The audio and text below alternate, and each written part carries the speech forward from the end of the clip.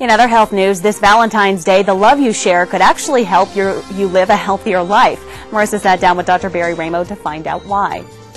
Dr. Ramo, just in time for Valentine's Day, some benefits of both love and sex. Well, there really are some benefits of love and sex. In fact, let's start with a glass of wine. A glass of wine has a lot of health benefits. Uh, if you're having wine before dinner, uh, the glass of wine will raise your HDL cholesterol. It contains a number of things that might help you prevent heart disease.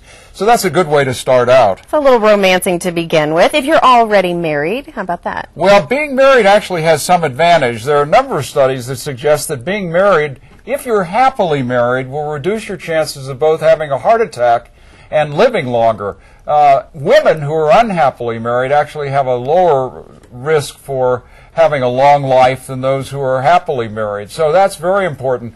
But I think one other study that was interesting was that making love twice a week reduces your chances of having a heart attack, at least if you're a man, wow. uh, by 50% compared to somebody who only has it once a month. So I think that's a very important piece of information on Valentine's Day. Do you know how many men are going to take that information? Dr. Ramos said twice a week is going to help my heart. Some women might be upset with you. That's well, I always tell my patients that sex is good for their heart, well, and they really believe it. There you go. The other point is, though, that I think having relationships mm-hmm. really is helpful.